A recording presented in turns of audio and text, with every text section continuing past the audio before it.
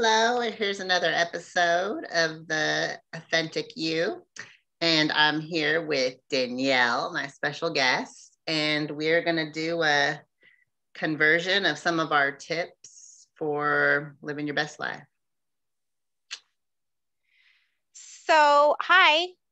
Um, Ashley asked me to join, and I decided to, and she wanted to come up with some ideas. And I thought it would be fun if we each came up with our own list of things. And as we are sisters, um, I thought it would be really interesting to go back and forth and see what we thought was important to share with you um, because we are so incredibly different. Um, and so let's have fun. Do you want to kick it off? All right. Uh, we could do we could do one and one. Yeah, we're doing one on one. Okay. Number one, find a find something that that makes you happy, like a happy zone, and integrate it into your daily routine. So for me, that's going to the gym.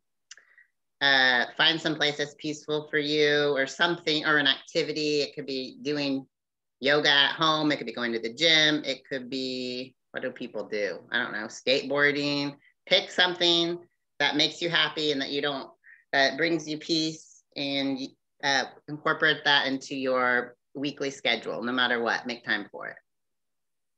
Um, as somebody who's lived with a partner pretty much my entire life, except for right now, that something for me is eating in bed. that brings me joy. Um, my life hack or life tip is you don't have to hit like and subscribe. So um, this is like so. I, I, put it that way because everybody's so into hit like and subscribe. Wait, that's one of, your things. That's one of your yeah. tips. Yeah, but it's not about like it's like a like a generalization to like life, not like actual oh, YouTube stuff. Right. I'm saying in life, you don't have to hit like and subscribe. Um, which means anything trending, anything going, moving with the flow, you don't have to. You can go against the grain. You can let your freak flag fly. You can do whatever you want. And um, this one, I think, probably comes to everybody just with like time and wisdom and living life and living life that's not an authentic part of you. And then when you do, and you are living like your true self and following what makes you happy, you feel really at harmony and like you're in the right place. And I think we get pushed intensely like downstream in this subscribing to all of these things. Um, and you don't have to. So don't hit like, don't subscribe. Next. Except do hit like and do subscribe to my channel. Don't get oh, don't except get for this. Don't like get it, and subscribe. except do what I say, not what I do. All right. Well, actually, mine kind of is a follow up. Learn how to say no and set boundaries super important. Um, a lot of times you don't even realize that you're kind of being pushed into doing something that maybe you're hesitant about because you're caught in the fun of something and it seems like might, it might be a good idea. It might work out. Sometimes it doesn't work out. You just have to be like, you don't even have to give a hard no. You can be like, let's, let's like put this off into the near future or uh, let's think about it a little longer some some choices are harder to get out of than other choices. So slow down before you give yeses to people. You don't have to be a yes man because then you're not really living for yourself. Agreed.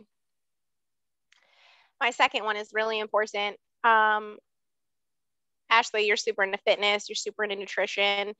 I am as well. Um, I would say that the happiest that I feel, and this is going to totally be different for everybody. Um, but I say eat a lot, move a lot.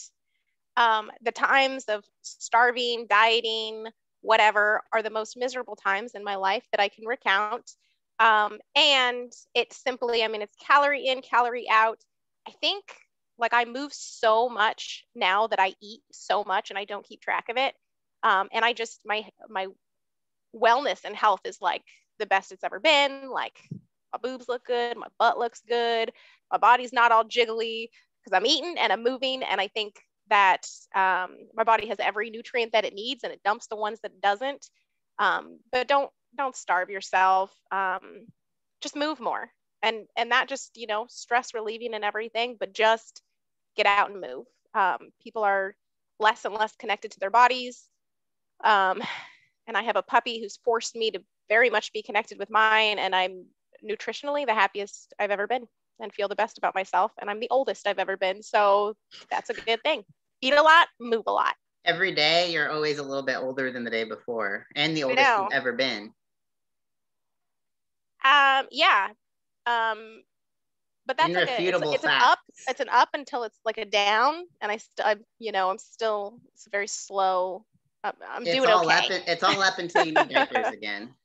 Yes, yeah, that's true. And even then, I'm sure there's people partying out there with their diapers on. So, I um, mean, um, YOLO. Enjoy, right? All right. Number three, keep momentum. So here's a great one.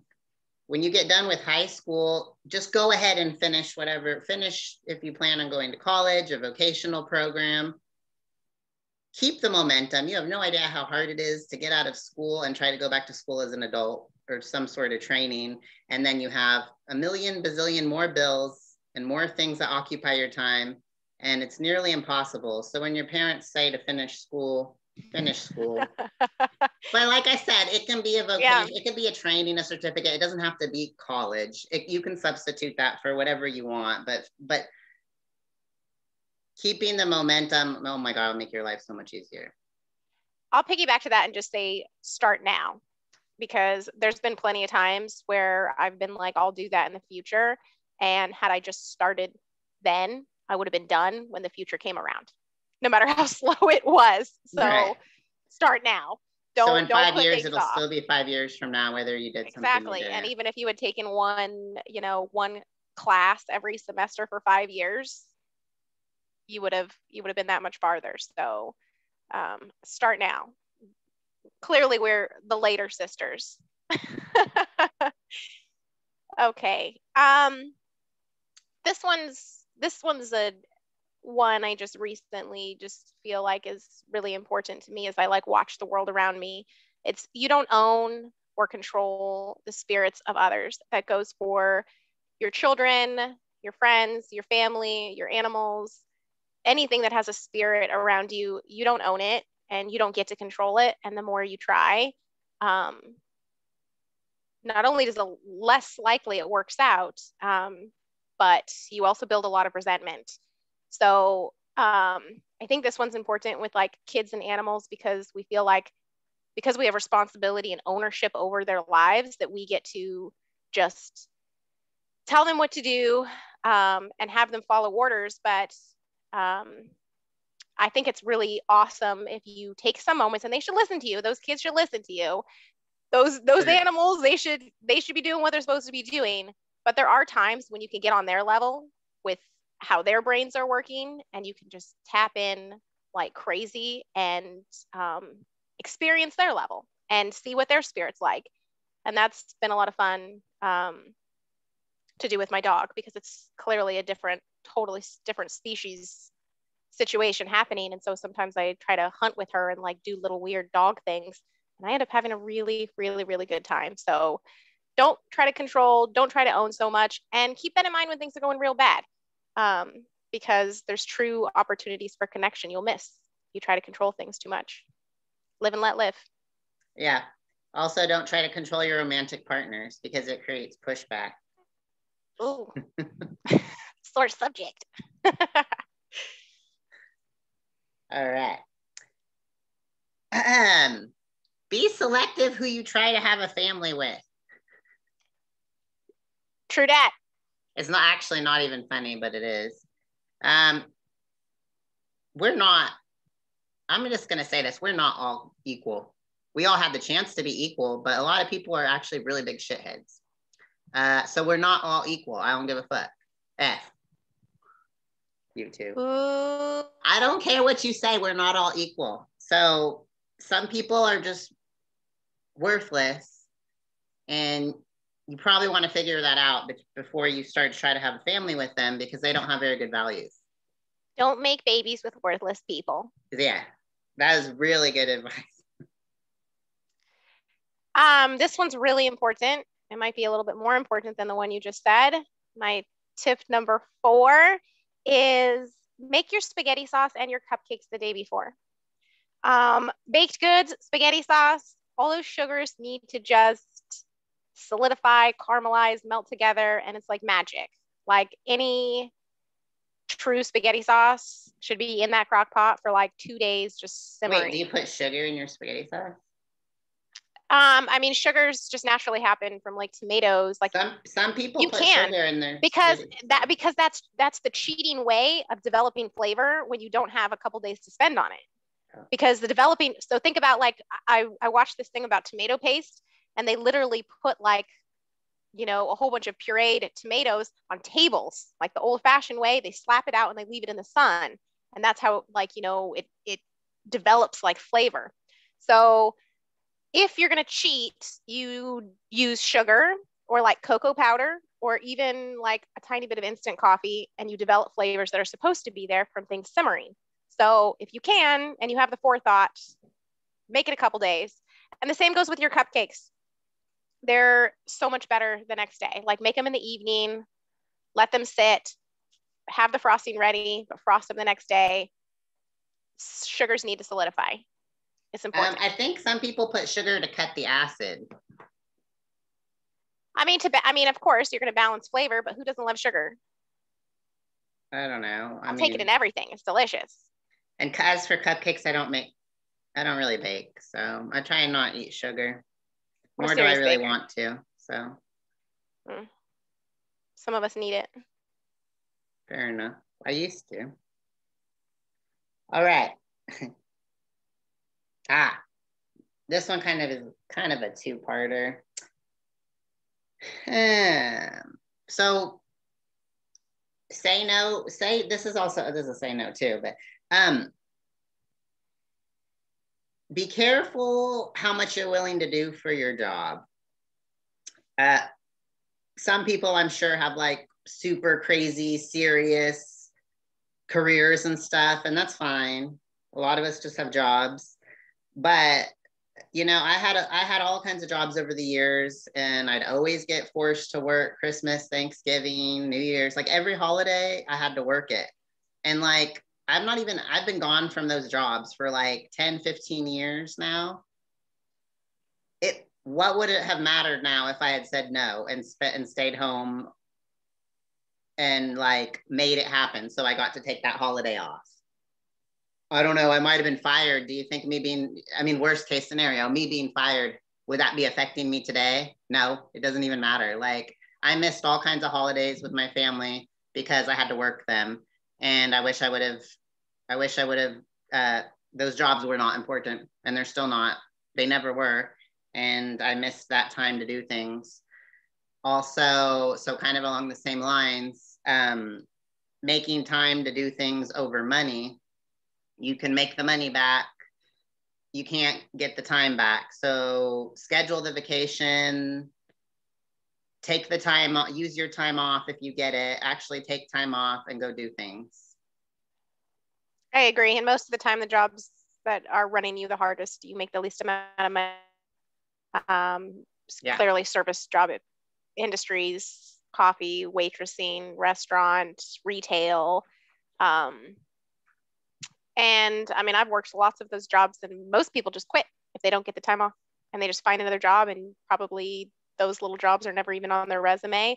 If you have the ability to work it, of course, work it. But otherwise, I agree. Take off. Bye. Bye.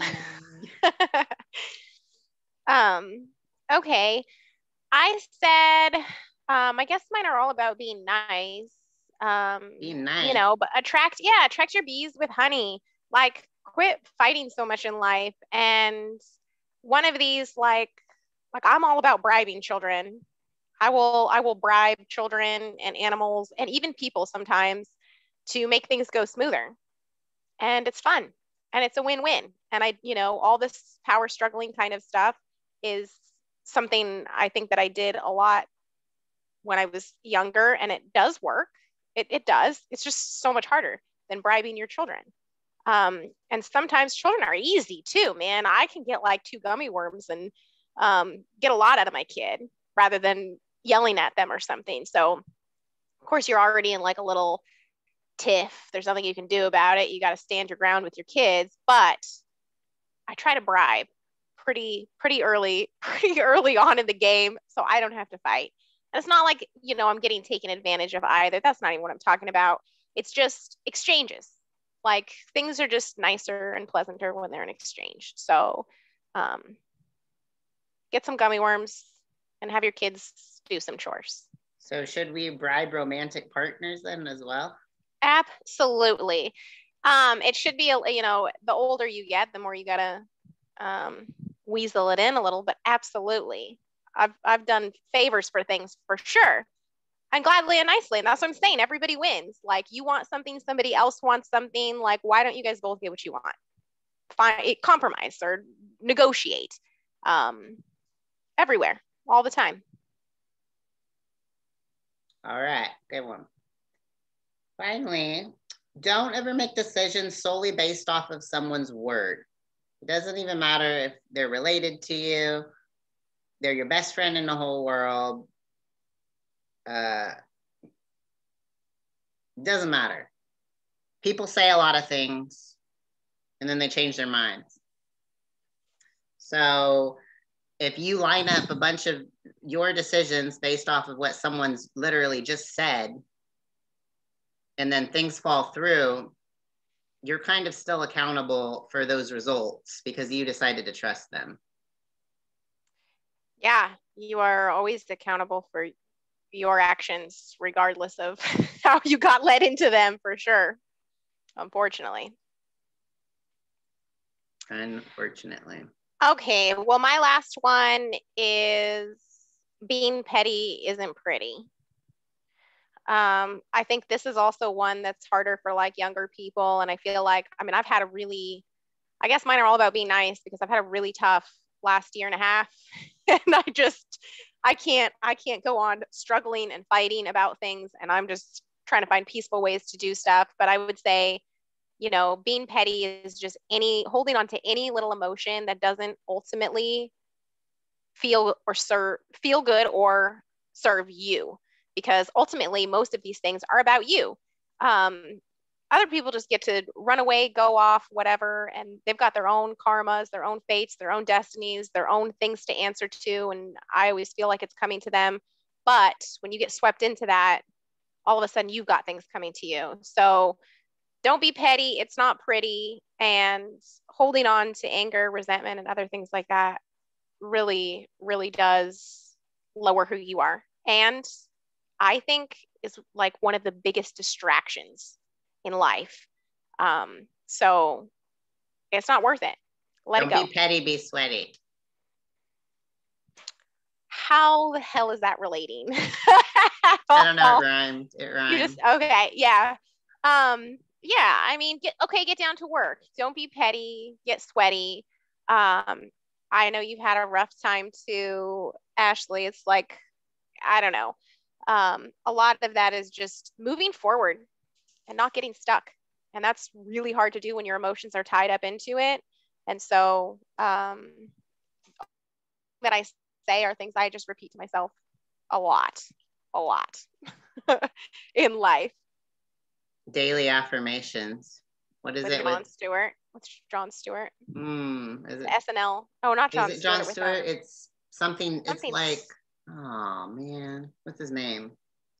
Yeah, I it's the SNL. Stuart Smalley? No. Okay. You see my my dog is fighting with me in the background. I can't remember his name. Yeah. I just um there's there's I mean every day there's awesome amazing things about your day kind of no matter how shitty it is and if there isn't then you should be doing something for yourself um, whether that's like ordering a cheese pizza like Home Alone or um, getting yourself your favorite drink or I, I don't even know, going paint on a little your toenails. Walk, paint your toenails, eat a piece of chocolate, sit in the sun, have a cup of tea, like find one thing every single day and treat yourself. Treat yourself. So those are life tips. Of course, nothing there was like amazingly epiphany wise, probably for you, but I think you are what you eat in all regards, which means when you fill your mind with junk, you think junk. And when you fill your mind with education or positive things, then that's what you are. And so you should stay, stay in those places and stop watching all those Karen videos online. yeah, I mean, I literally during the work week, I've I listened to like five hours of like motivational speaker stuff, and there's no way that you can there's no way that you can listen to that much material and not hear the same concepts over and over again. But it's like wor- worded differently and said by different people and has different examples. So it doesn't matter that I keep hearing it over and over again because it's just taking up space in my brain with with positivity versus the other things that I might be sitting there thinking about and creating messes in my head all by myself. agreed. Agreed. So, um, I mean, my my current job is literally like me motivating other people all day long, all the time, and for to like help them realize their potential and help them with their problems. And it's easy to get bogged down. So like, you know, that's I constantly have to like motivate myself. So I'm constantly eating good information all the time um, and it works 100%. I think it works. I even look up sometimes like stupid things like positive quotes, best motivational quotes, and like, you know, I try helpful. to post. I try to look something up in the morning and post like one one one motivational thing a, a morning. Yeah, yeah. And or wake times, up. Yeah. The times that I wasn't I wasn't doing my regular stuff, listening to my stuff and doing all that, were times where things were bad. This makes a huge difference. It does. I mean, really, your reality, your world, your existence is all inside of your mind. There's definitely people that have the same circumstances or similar, and literally just an attitude is the difference between fulfillment and, um, you know, falling into darkness. So stay in the light. All right. Well, it's been a good uh, meeting here, and maybe we'll get to have you back as a guest for some fun times. Um, we have a really funny video, but it's not time to post it yet. So maybe uh, later on this year you'll get to see it. It's uh, from our from our uh, Reno trip. It's short. It's like three minutes, but it's funny. I would love also to see this evolve, which I think you would have a fun time with is people asking questions and you answering questions. Oh yeah, so, I did think of that. Like if people wrote yeah. in and stuff, it would just this needs to be worked on for a while and and get momentum. Yeah. So right now it's pretty much just direct family and friends looking at it, which is fine. And all right, sweet. Well, thanks for the invite. Um, subscribe and like, or don't. Or don't. Or don't. or don't. All right. Bye, Nay. All right. Bye.